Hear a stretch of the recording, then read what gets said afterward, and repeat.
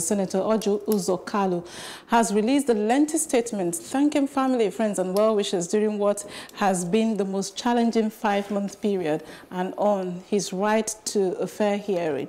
He was released after a court nullified the 12-year imprisonment ruling. Still in the studio is Liborous Oshoma to, to take a look Liborous, I mean, why should yeah, statement from uh, why should somebody who should be sober right. um, thanking family as if uh, the court has said go and sin no more. But, but isn't that what it means if uh, everything has been nullified? The court has ordered a, re a retrial, a retrial, and uh, for me, he should. I expect you know him to be sober. The court did not acquit him of the charges. Mm -hmm. What the court simply did was to say, look um, that the judge who delivered the judgment ought not to have delivered the judgment and, you know, all of that and, you know, all those, you know, te technicality that for me, I think, even though I had seen it, you know, from a different perspective earlier on, but if you look at it from the equity and justice of the matter, I expected that the Supreme Court ought to have expanded you know, this interpretation instead of looking at it narrowly mm -hmm. because it denies the country of justice. Uh, you know, uh, justice should not be sacrificed at the altar of mere technicalities. These are the words of, you know, Supreme Court over and mm -hmm. over again. again. And, and so that's why you hear people like Orji Uzor Kalu today will come out and, uh, and play the victim uh, you know, very responsible behavior from our leaders. And so with this, what people would begin to see is that, what people perceive is that we have two sets of laws, some for the ordinary man and then some for our political leaders. And if you permit me quickly, mm -hmm. I would um, I want to take this to the man on the street. Section 253 of the Constitution provides that the Federal High Court shall be duly constituted if it consists of at least one judge, if it can consist of at least one judge of that court. Okay.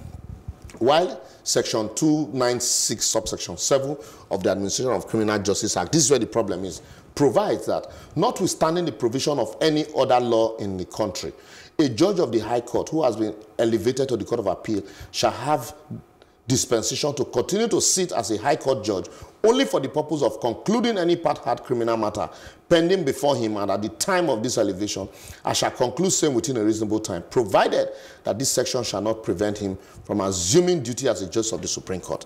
And, and so, lawyers have argued, the Supreme Court have heard, that this section 253 that says at least one judge of that court of that court conflicts with section 296 subsection 7 of the Administration of Criminal Justice Act and that a judge elevated from the lower court mm -hmm. cannot be said of that court. But the question is, this section defines what a quorum mm. is at the lower court. Was it, was Orji Uzor Kalu convicted by two courts, mm -hmm. two judges? It was one judge. Right. And the ne next, the next question would be, the, if you look at the provisions of the Constitution, any court that is established by the Constitution, the, it, the Constitution empowers the National Assembly to make laws to regulate the proceedings of that court.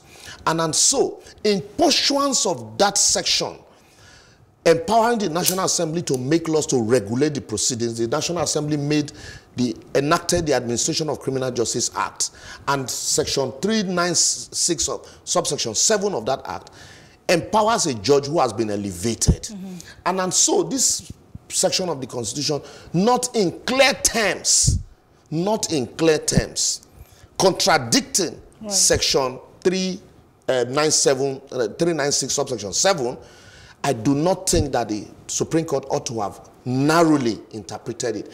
And mind you, secondly, this matter, Orji Uzor Kalu's appeal is still at the Court of Appeal. Mm -hmm.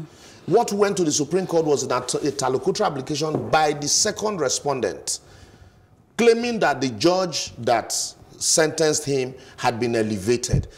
Lastly, the question the ordinary man on the street would ask is, did that, uh, by that judgment, did Orji Uzor Kalu occasion a miscarriage of justice? Yes, the answer is a no.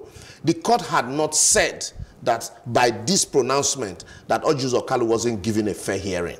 We agree that parties cannot by consent confer jurisdiction on, on the court. And, and so can we say, in all honesty, that by that section 253, mm. that it robs the court of jurisdiction. The judge haven't been elevated. For me, in my opinion, the answer is a no. And, and so I, I would want to di differentiate, you know, the position of the Supreme Court from what should have been. Mm -hmm. Because for me, I'm not the court. I won't sit on appeal here over a matter that has been decided. But I had expected that for the justice of the matter, the Supreme Court ought to have looked at the issues and asked the pertinent question, was there a miscarriage of justice here? Mm. If there were no miscarriage of justice, yes, a judge of that court, since is is a judge as at the time he delivered the judgment, he had the power to function also as a judge of that court, having been given a fiat by justice of the court of the president court of appeal that he can be said to validly function